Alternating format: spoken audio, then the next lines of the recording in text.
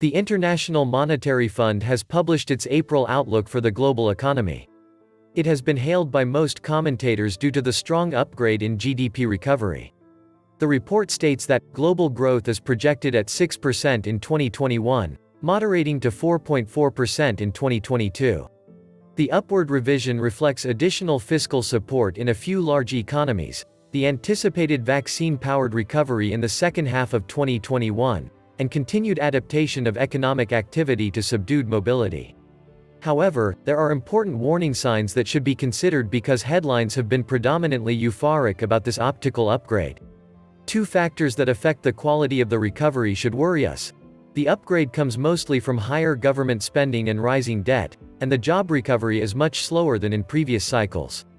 The unemployment rate in the euro area will remain well above 2019 levels even in 2022, rising from 7.9% in 2020 to 8.3% in 2022. Only Germany shows a positive employment outlook that leads its unemployment ratio to fall to 3.7%. Spain, on the opposite side, will end, according to IMF estimates, with unemployment of 15.8% in 2022 from 15.5% in 2020.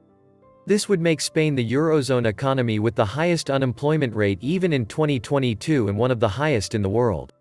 The United States is estimated to end 2022 with a 4.2% unemployment rate, a rapid decrease from the current 6%, but still above pre-pandemic levels.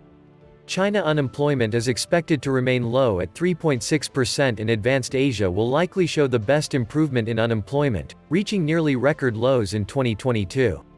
Even with these optimistic estimates of recovery, the IMF is showing that the COVID-19 crisis is going to leave millions of workers left behind, and that it will be particularly negative in an area that prides itself on social policies and high public spending, the Eurozone.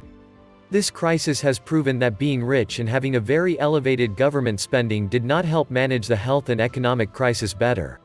The biggest loser of this crisis has been the middle class.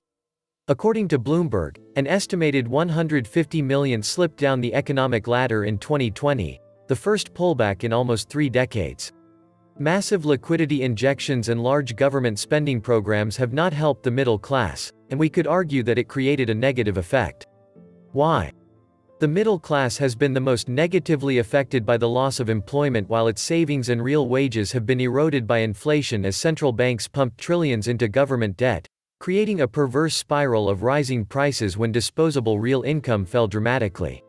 We could argue that it would have been worse without central bank intervention and government spending, but there is absolutely no evidence that shows it should have been as massive and indiscriminate as it was in 2020.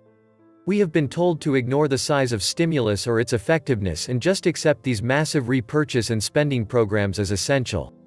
No one seems to ask how much is too much and even less when the results are a bloated GDP recovery due to debt and public expenditure with a poor job recovery ratio.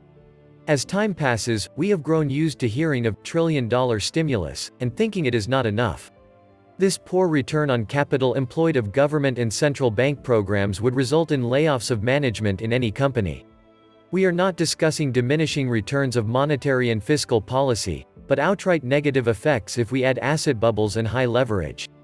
Any serious analyst would be appalled at the figures of unemployment and growth shown by the IMF after spending close to 20 trillion euros in chain stimuli. Furthermore, any serious analyst would be seriously warning about the negative consequences of making central banks and government the lender of first resort, not the last resort. What is the biggest risk?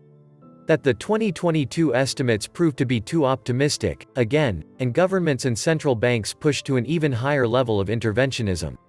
The destruction of the free market, competition, and innovation may seem appealing to some now, but the likely outcome of poor employment, negative real wage growth, and stagnation should be a real cause of concern.